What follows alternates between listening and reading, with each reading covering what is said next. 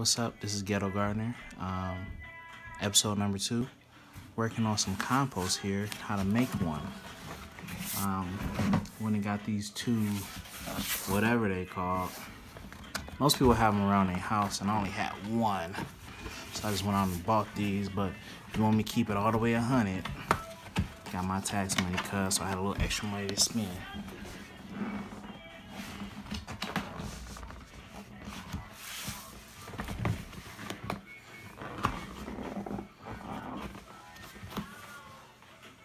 Okay, I'm back. Word of advice. If you get you some of these, make sure they can come apart first, okay? Because it just took me about five minutes to get these apart. Ain't no joke. Anyway, where's that? Compost. Trying to make it. Now, I bought two of them because as you accumulate stuff, it's going to start filling up and starting to decompose. And you want to have a second one to start a new pile as your first one is getting ready to get done, okay? So, what you're supposed to do is drill holes all over here, but let me be real. I don't have a drill, so I got a knife. And I'm about to work with this. See how it go.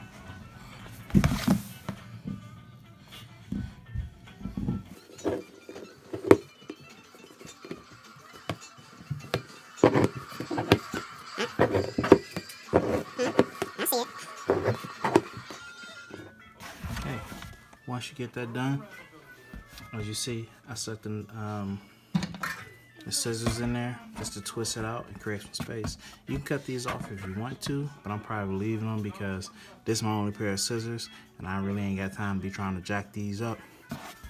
But um, you need these holes. And the reason why you need them is so that your compost can breathe, okay? So I'll be right back and show you about the rest of your compost. Okay, we're back. See, I got my holes cut out in here. They're not perfect, but you know, good enough, guys. You need a couple things for good compost.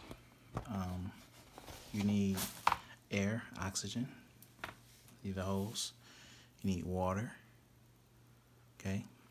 You need um, an even mix of greens and browns. Greens are things like this.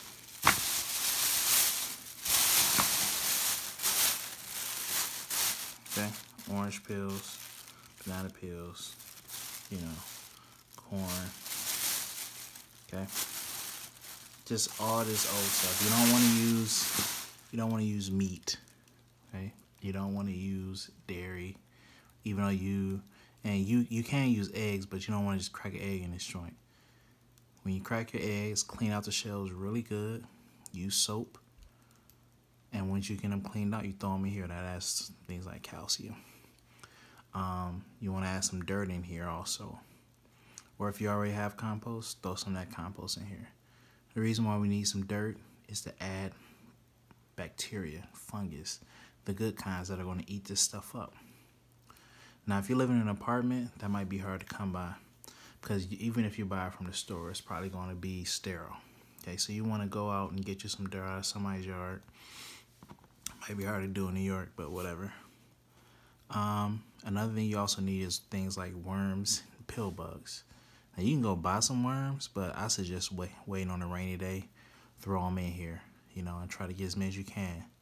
Um, what some people like to do is if you have a yard, cut the bottom out and let it contact the soil so those worms and pill bugs, things will come up here naturally. But I ain't doing all that. I'm just gonna catch them suckers out when they get drowned out they hole. So got everything in here. Oh, got everything moving. Cut most of it up. Cut the rest up too, but you want small pieces so that everything can eat it pretty good. I'm gonna cut these up too. Maybe, I don't know if I feel like it looks pretty disgusting.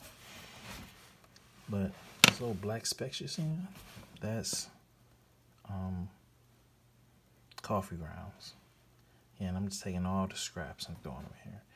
Onions, but um, lemon peels, orange peels, bananas, corn on the cob, you know, everything.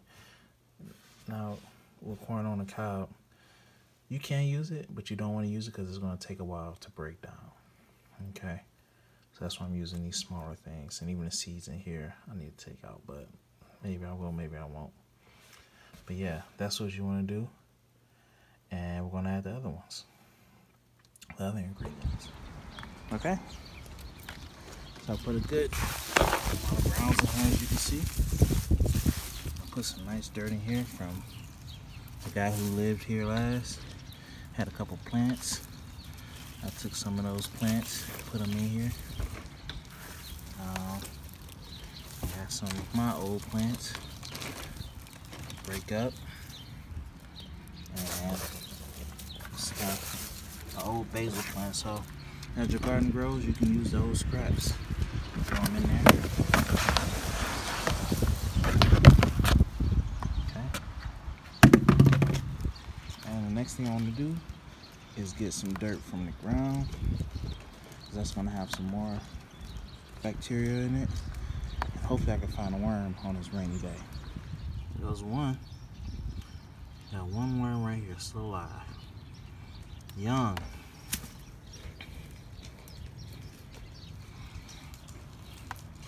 There you go, buddy. Wherever he may be, I done lost him already. There goes another one.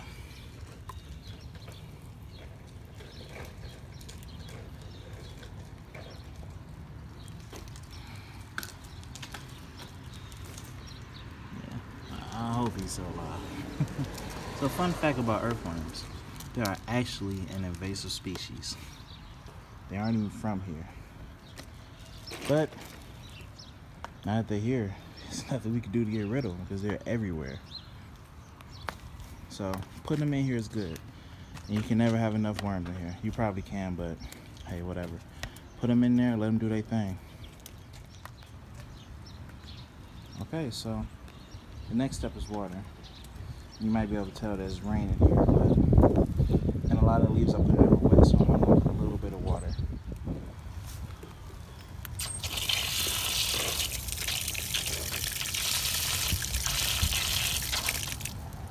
That's it. I probably would have put a little bit more if everything was totally dry. Next thing you want to do, thing you want to do is uh, mix it up. And I'm holding the camera now, so can't really mix up as good as I want to. I will come back when I'm all mixed up. All right, ghetto gardener here. Um, so you got everything in here. And your little makeshift compost bin, you got your holes in there. And the mistake I made earlier was saying that you need half greens and half browns. Well, you actually need two thirds browns, one third greens. So every for every two browns, for every two browns, you need uh, one green. I got mostly browns in here, but need a couple more greens.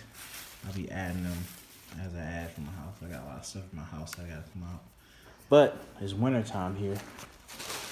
And what you wanna do to kind of help you out for when spring comes is to get this covered up in something black. You wanna get it covered up in something black because that's solar energy will, well, black really absorbs solar energy and it's gonna make the inside of here hot. And to get those things moving, you can't really compost when it's cold. Moves out of crawl. But if you get it heating up, you will get it going, Playboy. And you'll have something ready for you in the spring. Um, and for us, with it being the first of March, um, spring planting is about about two months away. So this could be about 50%, 75% done. And might be done by the middle of May if I do it right. So, all right, I got it wrapped up. I'm gonna set this out in the sun, get it sealed. I took the open part and just stuck it in there. And like I said, I'm gonna just come up here daily, at least twice a week, and just give it a good shape. Open it up, stir it up a little bit, just using a regular little pole here. Go from there. É isso.